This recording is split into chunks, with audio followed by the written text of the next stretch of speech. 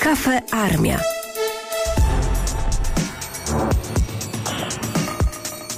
Agnieszka Drążkiewicz, Kafarmia. Dzień dobry. Ze mną dzisiaj z Państwem wiceminister obrony narodowej Wojciech Skurkiewicz. Witam serdecznie. Dzień dobry, witam panią redaktor i wszystkich słuchaczy o poranku. Nie sposób byłoby tuż po święcie Wojska Polskiego nie zaprosić przedstawiciela resortu obrony i nie zapytać pana na sam początek o, no, o wrażenia chyba, bo miałam okazję być na Wisłostradzie, m, oglądać to, co przygotowaliście jako wojsko i jako też kierownictwo resortu obrony. Rzeczywiście była to wielka, silna biało-czerwona defilada i ta potęga i ta moc no była odczuwalna, przynajmniej z, z tych rozmów, które przeprowadzałam z, z ludźmi, a były tych ludzi setki, rzeczywiście dało się czuć tę potęgę i siłę.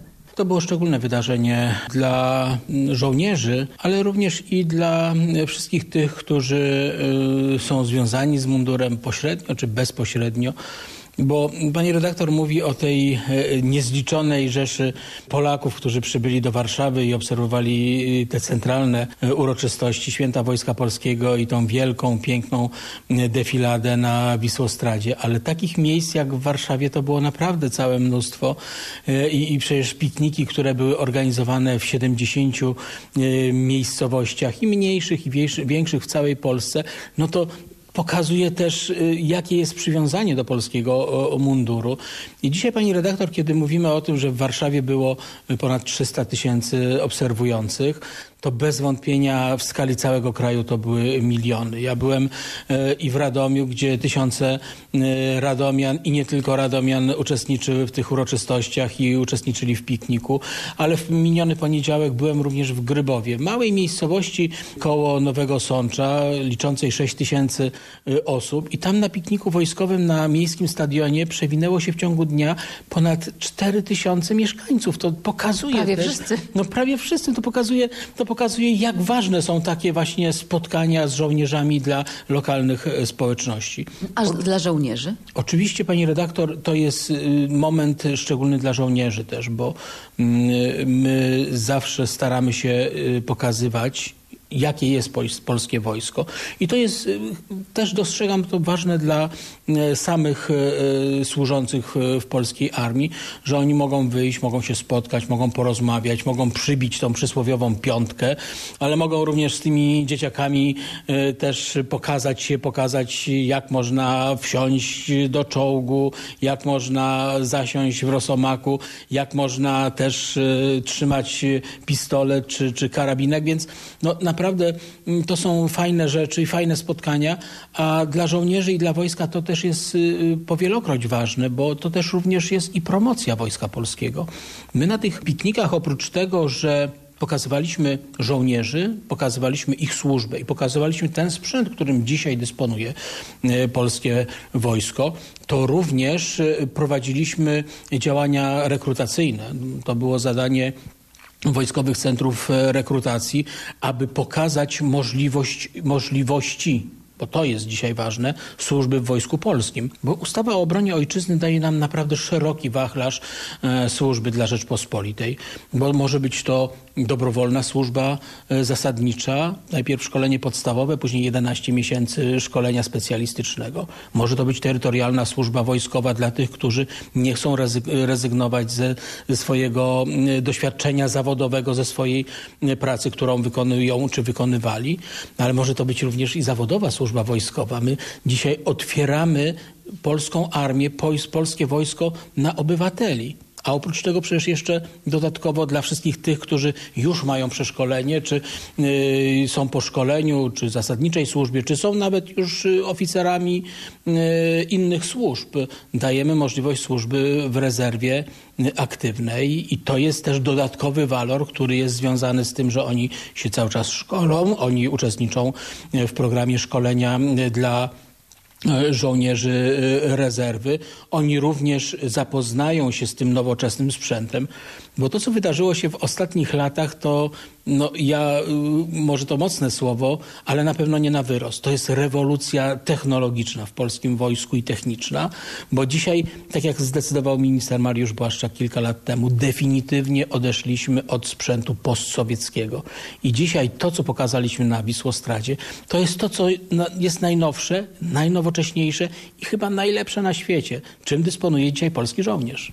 I panie ministrze, właśnie o tej rewolucji, nie ewolucji i o, ty, o, tym takim totalnym odcięciu się właśnie od tego sprzętu, który jest zmienionej epoki, jeszcze zmienionego układu, który już na szczęście nie istnieje, w którym już nie funkcjonujemy, y, to też chyba trochę celowo podzieliliście tę defiladę i na takie jakby nie jako dwie części. Pokazać to, co już jest od lat i co jest osadzone mocno w armii i też pokazać to, co jest tą świeżynką i co jeszcze będzie w najbliższych miesiącach, latach pozyskiwane. Ale oczywiście, bo mm, działanie Ministerstwa Obrony Narodowej nie jest y, osadzone w próżni. Ono jest realizowane przez y, określone działania na przestrzeni y, lat. I dzisiaj, jeżeli mówimy o sprzęcie wojskowym, który który z jednej strony modernizujemy, a który jest na wyposażeniu polskiego wojska. Mówimy o sprzęcie, które już wchodzi na wyposażenie y, y, zgodnie z harmonogramami poszczególnych kontraktów. No to jest również ten sprzęt, który będzie za chwilę wchodził. Jak na przykład samoloty F-35, bo choć zamówione kilka lat temu, one y, będą służyć w siłach powietrznych dopiero od 2024 roku. Ta biało-czerwona szachownica namalowana na tych płatowcach dopiero pojawi się w roku 2024. Dlatego też tutaj byliśmy e, wsparci naszymi sojusznikami, e, Armią Stanów Zjednoczonych, która zaprezentowała samoloty F-35 podczas tej defilady. Pani redaktor, tych elementów naprawdę jest całe mnóstwo, bo, bo ten wachlarz również zamówień i ten portfel zamówień jest dzisiaj naprawdę przebogaty, bo my dzisiaj E, począwszy od e, programów amunicyjnych, których nie da się pokazać na defiladzie, a one przecież pochłaniają również miliardy e, złotych z budżetu Ministerstwa Obrony Narodowej. To są również i te drobne rzeczy, takie jak karabinek MSBS produkowany w radomskiej fabryce broni, poprzez zestawy piorun i później coraz większy, coraz większy, coraz większy sprzęt, aż do Abramsów, czołgów K2, E, czy armatochaubicy Krab, czy armatochaubicy K9. No to są te potężne zakupy, które dzisiaj realizujemy. I tak jak mówił premier Jarosław Kaczyński, jeszcze będąc szefem Komitetu do Spraw Bezpieczeństwa na naszych cotygodniowych spotkaniach, że i, i to jest realizowane, że dzisiaj w modernizacji technicznej polskiego wojska nie chodzi o dostawy tak zwane homeopatyczne, w niewielkich ilościach. My naprawdę dzisiaj dokonujemy y, zmian y, bardzo znaczących, które będą skutkowały na dziesięciolecia, bo ten sprzęt, który dzisiaj wchodzi na wyposażenie polskiego wojska, on będzie służył kilkadziesiąt lat y, polskim żołnierzom i on będzie służył dla zapewnienia bezpieczeństwa Rzeczpospolitej. Ten potencjał odstraszania, bo my nie chcemy nikogo najeżdżać, nie chcemy nikogo atakować, ale my dzisiaj chcemy mieć określony potencjał potencjał obronny, potencjał odstraszania taki, aby on dał do myślenia potencjalnym agresorom że polska armia jest silna, jest zwarta, jest gotowa bronić swojego terytorium, że polska armia, szczególnie ta lądowa, jest najsilniejszą armią Europy. To zresztą o tym odstraszaniu i o tym potencjale, czyli żeby mieć tyle, żeby agresor kalkulował, czy mu się opłaca napaść, chociażby właśnie na nasz kraj. Mówił też y, w swoim okolicznościowym przemówieniu prezydent Andrzej Duda. Pan powiedział jeszcze tylko, zostańmy na chwilę o tych zmianach, bo też pan mówił właśnie o zmieniającym się obliczu polskiej armii. Poprzez między innymi modernizację, nowoczesny sprzęt. Zostańmy jeszcze na chwilę właśnie w tym sprzęcie, który był w tej drugiej e, odsłonie pokazane, czyli w tym nowoczesnym, najnowszym sprzęcie. I chciałabym tutaj teraz powiedzieć o dwóch typach uzbrojenia z polskiej zbrojeniówki, bo chyba można, wydaje mi się, trzeba być dumnym chociażby z borsuków, wyczekiwanych od lat. Eksperci wojskowi mówili, że bojowe wozy piechoty, które miały do tej pory wojska lądowe, no to masakra, to już tragedia, to już nie powinno tego w ogóle być, bo one, to jest konstrukcja sprzed kilkudziesięciu lat. Tak samo nowoczesny, dający chyba no, dużą siłę rażenia wojskom lądowym i mówię tutaj o Baobabie, czyli o wozach minowania narzutowego, które są w stanie w bardzo szybkim tempie bardzo duży teren y, zabezpieczyć przed wrogiem. Dotknęła Pani bardzo kluczowego mm, elementu naszej działalności na styku z przemysłem y, zbrojeniowym i to właśnie polskim przemysłem zbrojeniowym. My dzisiaj wykorzystujemy potencjał polskiego przemysłu obronnego w 100% i to, co dzisiaj polski przemysł jest w stanie wyprodukować, Kupujemy i to y, realizujemy naprawdę y, umowy y, krótkoterminowe, długoterminowe i kupujemy praktycznie wszystko. I w istocie jest szereg elementów, które, z których się bardzo cieszymy, że one wreszcie są. No bo ma pani... I nie ma się czego wstydzić, Dokładnie. bo to nie jest sprzęt, to sprzęt, który może konkurować eksportowo. Dokładnie tak, bo jeżeli mówimy o borsuku, no to o tym bojowym wozie piechoty mówiło się już długie, długie lata. Zresztą na targach zbrojeniowych MSPO w Kielcach on był przez kolejne lata jako fazę taką e, twórczą ze strony PGZ-u pokazywany. Dzisiaj już ma realne e, kształty. Ale pani redaktor, podobnie było z piorunem. Pragnę e, przypomnieć, przez wiele długich lat praca w MESCO nad piorunem trwała, trwała i trwała. I to determinacja obecnego kierownictwa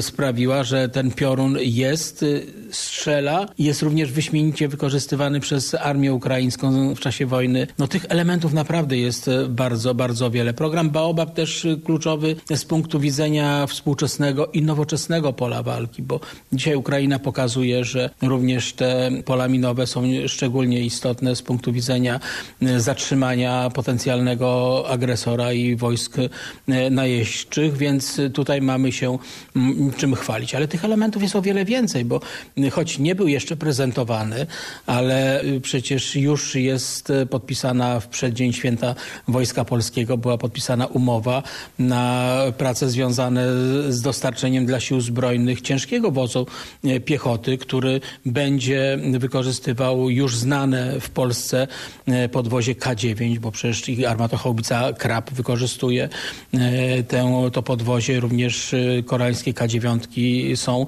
więc to będzie tutaj też bez wątpienia dość proste w przygotowaniu dla polskiego przemysłu y, obronnego i ciężki bojowy wóz piechoty, no to też jest coś, co y, będzie, nie powiem, że rewolucyjne w zmianach y, technicznych i technologicznych polskiego wojska, ale na pewno kluczowe z punktu widzenia bezpieczeństwa polskich żołnierzy. No to teraz o tych zmianach, bo tak się składa, że i w przeddzień wojska i potem również w tym wystąpieniu już w święto wojska prezydent Andrzej Duda e, mówił, kilka razy podkreślał wątek bezpieczeństwa i w tym kontekście mówił o tym, że to bezpieczeństwo musi być osadzone również na tym, żeby wyciągać wnioski z tego, co dzieje się z naszą wschodnią granicą, czyli że tam trwa regularny konflikt zbrojny i że takie hasło od prezydenta usłyszeliśmy, że polska armia musi dostosować system dowodzenia do tego, co się dzieje tu i teraz i do tych zagrożeń, które też w najbliższym czasie mogą nas czekać.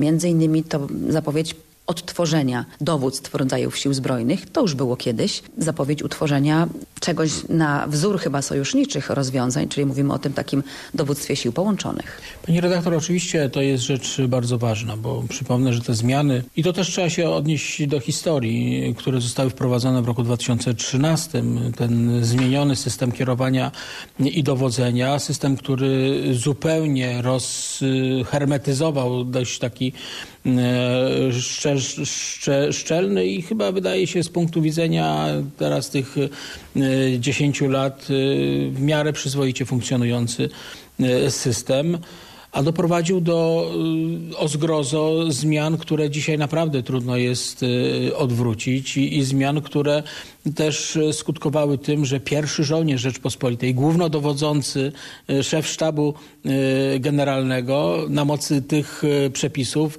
był wyłącznie doradcą ministra obrony narodowej. No, to tak, no, mówię, to, mówię to z wielkim żalem i bólem, a, a wskazywaliśmy w czasie tych prac nad Skidem w 2013 roku, że to będzie y, niekorzystne dla sił zbrojnych i tak się też stało i dzisiaj widzimy z perspektywy czasu, y, jak to funkcjonowało i jak to jest. Dzisiaj y, te zmiany, które nastąpiły y, w ramach tak zwanego małego Skidu, one przywracają pewne rozwiązania, ale też wprowadzając mały skit jednoznacznie mówiliśmy, że potrzebna jest taka gruntowna reforma systemu kierowania e, i dowodzenia. Dziś wojna za naszą wschodnią granicą jednoznacznie pokazuje kierunki e, rozwiązań dla nowoczesnej armii, która jest w stanie walczyć e, na różnych arenach, i w różnych formach, bo, bo ta walka jest y, dzisiaj, y, odbywa się nie tylko w tej domenie lądowej, ale praktycznie wszystkie domeny są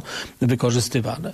I, i dzisiaj te słowa, które y, wypowiedział pan prezydent, one jednoznacznie wskazują, że to jest właśnie ten czas, kiedy musi być taka swoista ewaluacja tych działań systemu kierowania i dowodzenia, które były realizowane przez ostatni okres. No i teraz te zmiany, które płyną wprost y, z doświadczeń ukraińskich, w jakim kierunku należy zmieniać polską armię. Ale tych doświadczeń ukraińskich jest o wiele, wiele, wiele więcej i to, co dzisiaj robimy, modernizując polską armię te doświadczenia dotyczące uzbrojenia, dotyczące również ilości uzbrojenia. Pani redaktor, jeszcze przecież dwa lata temu, gdyby ktoś się zapytał, że jak by wyglądał, czy jak powinien wyglądać konflikt XXI wieku, to wielu tych ekspertów, czy natowskich, czy nawet tutaj polskich wskazywało, no ależ oczywiście nowoczesny konflikt XXI wieku to będzie albo w domenie kosmicznej, albo w domenie cyber,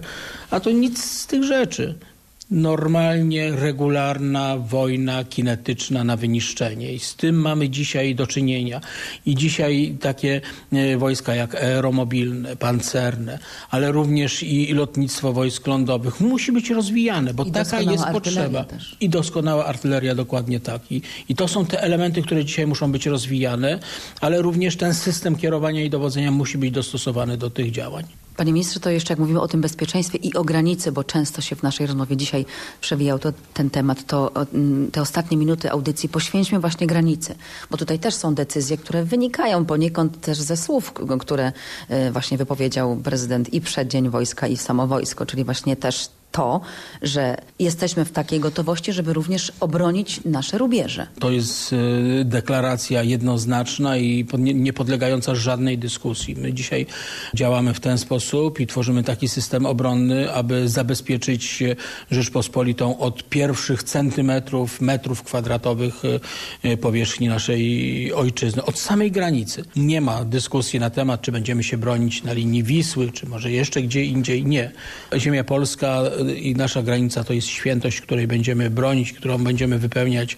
Słowa roty przysięgi absolutnie co do tego nie ma najmniejszej e, wątpliwości. To dlatego też tworzymy jednostki wojskowe e, na wschód od Wisły. To dlatego też stworzyliśmy oprócz 18 Dywizji Zmechanizowanej pierwszą dywizję Legionów, która będzie operowała na północnym e, wschodzie to dlatego też e, minister Mariusz Błaszczak informował i pewnie lada moment e, będzie również przekazywał informacje związane z e, tworzeniem kolejnych związków taktycznych, tak aby zabezpieczyć kolejne tereny. To dlatego też dzisiaj na naszej granicy z Białorusią służy tak wielu żołnierzy, bo pamiętajmy o tym, że dzisiaj do wsparcia Straży Granicznej oddelegowaliśmy blisko 4 tysiące żołnierzy, którzy ręka w rękę z funkcjonariuszami Straży Granicznej służą na polsko-białoruskiej granicy. Ale my też w odwodzie przygotowaliśmy też określone siły i środki żołnierzy, którzy będą też wspierać te działania na tej pierwszej linii e, granicznej. Tak jak zdecydował minister Mariusz Błaszczak, tych żołnierzy, którzy e, będą e, służyć, czy służą tam na granicy jest blisko 10 tysięcy, więc to jest naprawdę pokaźna formacja E, sił zbrojnych. I pani redaktor, też my nie tylko przerzucamy na wschód tych żołnierzy, którzy oni tam rotują, ale my także przygotowujemy czy realizujemy szereg różnego rodzaju ćwiczeń, szereg różnego rodzaju manewrów, szereg różnego rodzaju także działań, które pokazują, że my jesteśmy obecni, że my nie zostawiamy tego terenu i tych obywateli, mieszkańców Polski samych sobie. My jesteśmy tam cały czas obecni w różnych formach służby. Panie ministrze, kto dowodzi tymi wojskami, zarówno tą główną siłą, czyli tymi czteroma tysiącami, jak i tym odwodem? Czy to jest tak, że nasi żołnierze pozostają w dyspozycji niejako Straży Granicznej albo są z nimi w ścisłej kooperacji? Oczywiście za tego typu działania zawsze odpowiedzialny jest dowódca operacyjny i to jest e, dowódca, który jest odpowiedzialny za to zgrupowanie. Oczywiście ta współpraca ze Strażą Graniczną jest realizowana na zasadzie takich relacji bilateralnych pomiędzy y, Strażą Graniczną, a siłami zbrojnymi na bieżąco. Y, Panowie dowódcy, panowie generałowie są w stałym y, kontakcie, więc tutaj ten przepływ informacji również jest y, permanentny 24 godziny, 27 dni w tygodniu, ale również my powołujemy też specjalne dowództwo tego wojskowego zgrupowania zadaniowego, które już bezpośrednio tam na miejscu będzie koordynowało te wszystkie działania związane z użyciem Wojska Polskiego, sprzętu, z zaangażowaniem sił zbrojnych. To jest taki kilkuwarstwowy system, który bez wątpienia jest kluczowy z punktu widzenia bezpieczeństwa i naszej granicy, ale również i wschodniej części Rzeczpospolitej, a co się z tym wiąże wschodniej flanki NATO. Panie ministrze, bardzo dziękuję za Ale rozmowę. pani redaktor, jeszcze jedno, zanim y, zakończymy tę rozmowę, to ja chciałbym zaprosić, bo już za tydzień wielkie kolejne wydarzenie wojskowe, 26 po pięciu latach przerwy, wielkie lotnicze pokazy Air Show w Radomiu. Pragnę serdecznie i panią redaktor, ale wszystkich też y, słuchaczy Polskiego Radia 24